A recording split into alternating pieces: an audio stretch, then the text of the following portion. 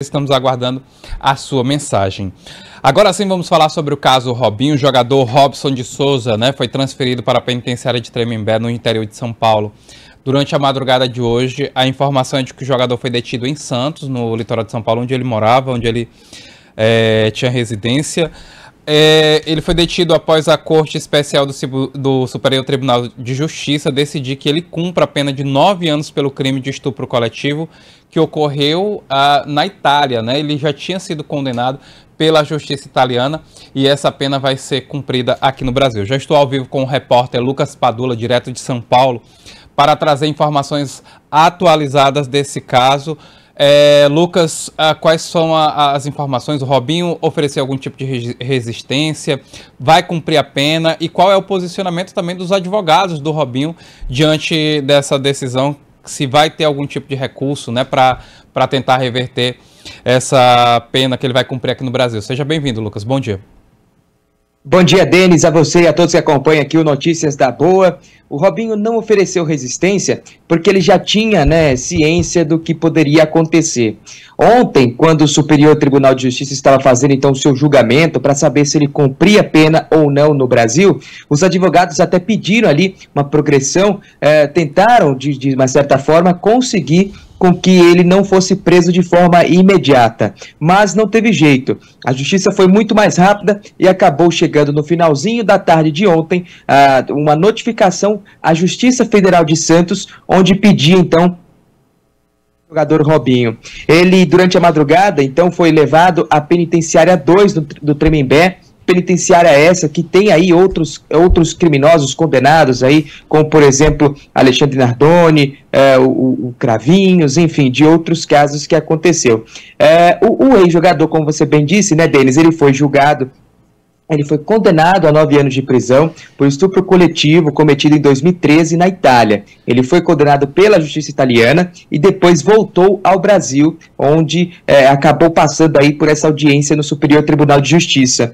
É, a informação que a gente tem, viu, viu, Denis, é que ele deixou então o seu condomínio no Guarujá, onde mora. Na sequência, foi encaminhado à polícia, à sede da Polícia Federal em Santos Lá ele prestou um depoimento, né, conversou com os policiais. Na sequência saiu um carro disfarçado cor prata, sentido IML, para passar por exame de corpo de delito e depois encaminhado então à penitenciária. Ah, nesses primeiros momentos a gente conseguiu inclusive informações do que deve acontecer com ele agora, agora né?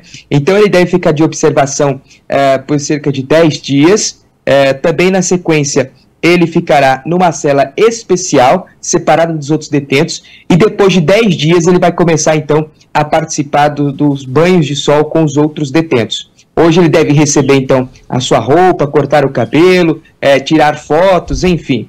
É, aí a posição, né, claro, dos advogados é tentar, de uma certa forma, mais um habeas corpus uma vez que o ministro Fux é, negou o seu pedido, de, o primeiro pedido de habeas corpus. E eu consegui também apurar a informação de que ele não pode, que ele pode é, é, cumprir a pena, uma pena menor. Isso, segundo a, o que a gente tem aqui, é que quando o, o, o, detento, no caso o Robinho, cumprir 40% da pena, ou seja, 3 anos e 7 meses, ele pode pedir a, a, a progressão para o regime semiaberto. Isso porque se aplica a qualquer tipo de réu primário e que fica também é, por crime hediondo e também por ter bom comportamento. Ou seja, ele cumpre os 3 anos de, de, de, de prisão e pode, depois de cumprir os três anos de prisão e três anos e sete meses, se tiver um bom comportamento, ele pode pedir o regime semiaberto aí é, e cumprir a sua agenda com as saidinhas, no caso ainda se, se não for aprovada pelo presidente, ele poderá ter o benefício de saidinhas,